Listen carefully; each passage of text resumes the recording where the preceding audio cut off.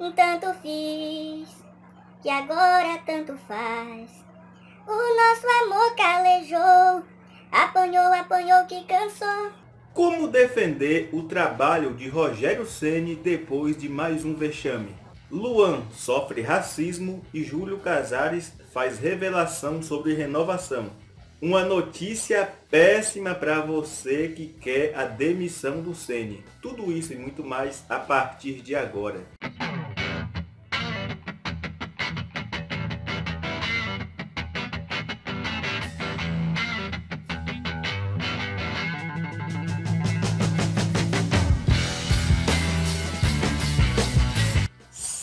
Salve, rapaziada! Sejam todos muito bem-vindos a mais um vídeo aqui do canal Jonathan. Aqui, segundona, para te deixar super bem atualizado com as últimas notícias do São Paulo. Por isso, é muito importante que você continue aqui apoiando o canal. Como? Simples, se inscreva, ative o sininho e deixe o likezão no vídeo. Bora bater aí nossa meta marota de 45 likes no vídeo e claro, né, que eu conto com vocês que são espetaculares e muito importantes para mim e já sou eternamente grato a todos, beleza? Fechou, tamo junto? E agora, bora aqui começar o nosso giro de notícias do São Paulo, falando aí mais um pouquinho sobre esse vexame do São Paulo em casa. O São Paulo perdeu mais uma em casa diante do São Bernardo. Rapaziada, e é com profundo pesar que eu venho aqui neste vídeo hoje reafirmar que eu não acredito mais no trabalho do Rogério Ceni à frente do comando técnico do São Paulo. Eu quero estar profundamente errado. Quero estar profundamente enganado. Afinal, né, como diz o Barolo, eu não quero ter razão, eu quero ser campeão. Mas fica cada dia mais difícil de acreditar que o Rogério Ceni seja capaz de mudar os rumos do São Paulo, que o Rogério seja capaz de fazer o São Paulo jogar, fazer o São Paulo evoluir dentro de campo.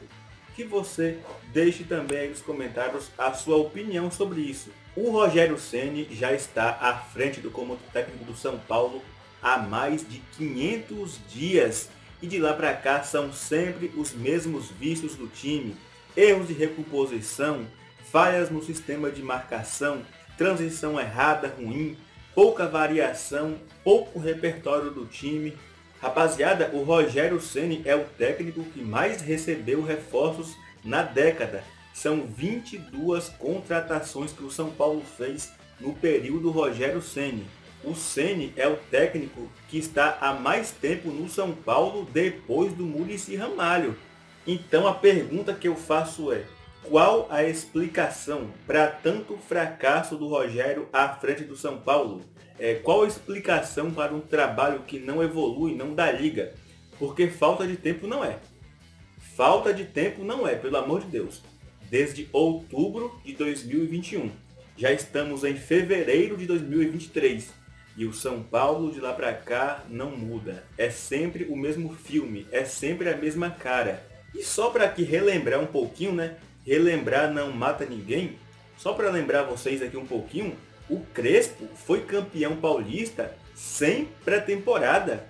O Fernando Diniz só recebeu um reforço enquanto esteve técnico do São Paulo, que foi o Luciano, e o Diniz levou o São Paulo à semifinal da Copa do Brasil e quase foi campeão brasileiro de 2020, né? Deu, deu aquele, aquele, aquela derrapada no final, mas foi, quase foi campeão. Enquanto isso, nós temos o Rogério que não evolui, não dá padrão tático ao São Paulo. O São Paulo é um time previsível, é um time que qualquer técnico é minimamente inteligente ele consegue travar o jogo do São Paulo e pronto. Então, para mim, o Rogério Ceni deve muitas explicações. Com o Rogério, as coletivas, né, as, as desculpas dele, elas vão se adaptando com o tempo, né? Ah, meu time é, não tem velocidade. Ah, porque o jogador A não é rápido. Ah, porque meu time não tem pontas. Ah, porque o meu time não tem um volante capaz de sair jogando. Não tem zagueiro construtor. Aí agora tem, o São Paulo tem um bom volante, que é o Mendes, o São Paulo tem pontas, né? Vieram os reforços. Aí agora a desculpa mudou. Agora é porque meu time perdeu para um bom time. Ah, porque o adversário é mais forte. Ah, o adversário é mais organizado. Eu quero saber até quando que as desculpas vão seguir. Queria que você colocasse de forma resumida aí a avaliação do trabalho do Rogério Ceni até aqui no São Paulo. Bora aqui seguir com o nosso giro de notícias do São Paulo. E aí o São Paulo sofreu a sua segunda derrota em casa, né? E infelizmente são duas derrotas com os dois recordes de público do São Paulo no ano, né? Foram aí 54.970 na derrota por 2 a 1 para o Corinthians e foram aí 52.602 na derrota de 1 a 0 para o São Bernardo.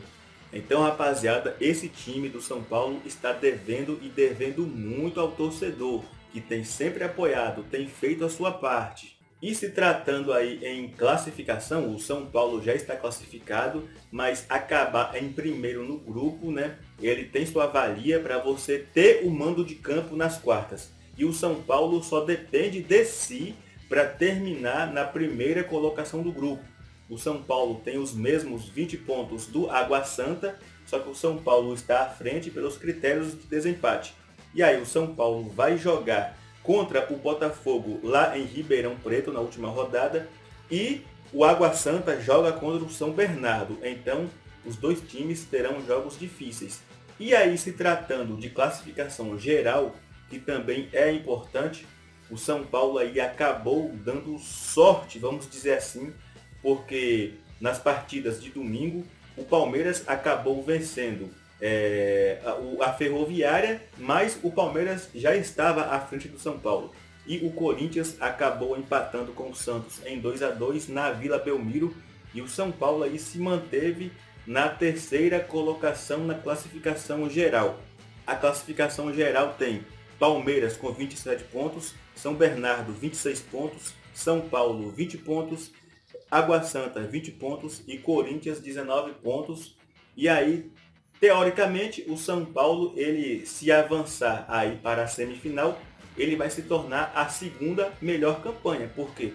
Porque Palmeiras e São Bernardo, que têm as melhores campanhas, eles por estarem no mesmo grupo, vão se enfrentar e já teremos um eliminado, o que deixa o São Paulo aí, caso avance, passe pelo Água Santa, porque já está definido que será São Paulo e Água Santa nas quartas de final. Basta definir aí onde será, de quem será o mando de campo. E aí o São Paulo avançaria aí com a segunda melhor campanha, porque uma das melhores que estão à frente do São Paulo, um será eliminado, ou Palmeiras ou São Bernardo, né? Se o Palmeiras fosse eliminado não seria nada mal, hein? Se o Palmeiras cair, não será nada mal. E aí, será que o São Paulo tem chance de ser campeão paulista? Hum? Será que o São Paulo tem chance de conquistar um título esse ano? Participa do vídeo aí deixando sua opinião. E mais uma vez, galera, não se esqueçam, se você já chegou até aqui e ainda não deu o joinha, deixa aí, vai, deixa o seu like para fortalecer o canal. Rapaziada, bora aqui seguir com o nosso giro de notícias do São Paulo e o volante Luan sofreu racismo através do seu Instagram.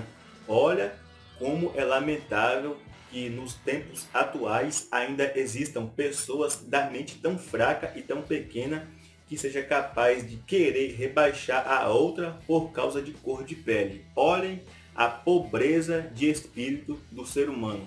O fulano aí, o palhaço aí, o babacão, o valentão das redes sociais, ele respondeu o Luan, um story do Luan no Instagram e chamou o Luan de macaco. Olhem só como é lamentável, hein, rapaziada.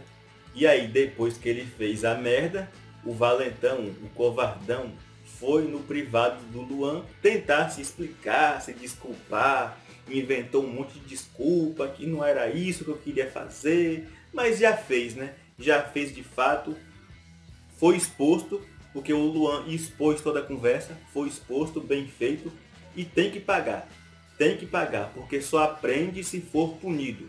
Galera, todos temos que dizer não ao racismo. Somos todos iguais e ponto final. Tem que acabar com esse tipo de coisa no meio da sociedade. Algo, algo lamentável, né?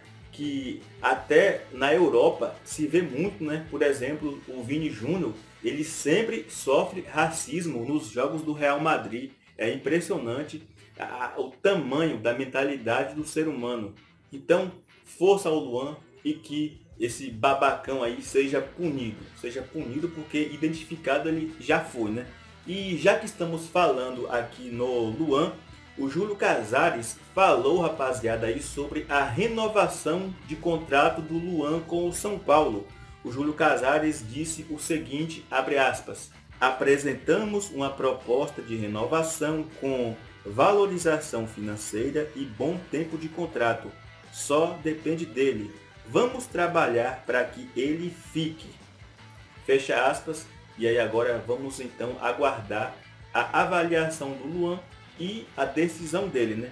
Decisão essa que vai passar muito pelas oportunidades que ele tiver. Então vai depender muito do Rogério Ceni, da boa vontade do Rogério Ceni para dar mais minutos ao Luan. Ele que tem entrado bem, né? Ele que não merece ser reserva para o Pablo Maia. Ele merece mais chances no São Paulo. E aí eu apoio a permanência do Luan. Apoio a permanência do Luan Queria saber aí a opinião de vocês, beleza? Bora seguir aqui com mais notícias do São Paulo para vocês. E agora, rapaziada, uma péssima notícia para você que quer a demissão do Ceni. É isso mesmo. De acordo com apurações, Ceni deve cumprir o seu contrato com o São Paulo até o fim. O contrato do Ceni é válido até 31 de dezembro deste ano. Então, para você que sonha com a demissão do Ceni, é, meus amigos, o trem tá complicado. O trem tá complicado internamente, nem se cogita uma demissão do Rogério Ceni nesse momento. Aí Márcio Ruiz, aí Grec, aí Enilson Santos, aí Seis, Doutor São Paulino, aí Silva Tricolor, Xandão Favela Tricolor. Essa é de doer. Essa é de doer. LH tricolor também. Tamo junto. Essa é de doer. Não se cogita internamente a demissão do Rogério Ceni, né? Brincadeira, né? Brincadeira, porque o, Rogério Ceni está afundando o São Paulo. Porque o São Paulo não evolui. Não evolui. Porque, rapaziada, o problema não é perder do São Bernardo, que de fato é um bom time. Mas o problema é que o São Paulo não consegue jogar contra qualquer time minimamente bem treinado, bem organizado. O São Paulo, ele já se trava. O time adversário, ele trava a jogabilidade do São Paulo e o São Paulo se vê encurralado. Tanto é que a maioria dos jogos que o São Paulo ganhou sempre dependeu de uma bola parada para abrir o placar. Porque com a bola rolando de fato, o São Paulo tem encontrado dificuldades, não encontra saídas né, não encontra saídas. Queria que você deixasse sua opinião aí, porque o, o, o São Paulo não evolui. Encontra dificuldades contra times bem treinados, bem organizados. O Brasileirão vem aí, a Copa do Brasil vem aí, a Copa Sul-Americana vem aí. E aí, esse time vai continuar assim? E o Rogério Ceni sempre exaltando o adversário, que o adversário é forte, que o adversário é um bom time? Eu acho que ele, como técnico, precisa é trazer soluções e não mais indagações e desculpas esfarrapadas, beleza? Queria que você deixasse a sua opinião nos comentários. E mais uma vez, se você é novo por aqui, se inscreva, ative o sininho e geral aí. Senta o dedo no like, bora bater nossa meta de 45 likes no vídeo e eu conto com vocês. Ah, e falta pouco para os 4 mil inscritos, né? Então se você está aqui e não é inscrito, se inscreva, vai. Vamos ajudar o canal a crescer Tamo junto, é nós. Boa semana a todos e aqui você já sabe que é Vamos São Paulo sempre.